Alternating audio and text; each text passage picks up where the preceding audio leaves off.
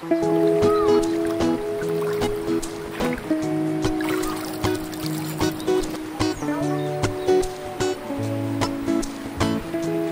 tay cái này lỗ tay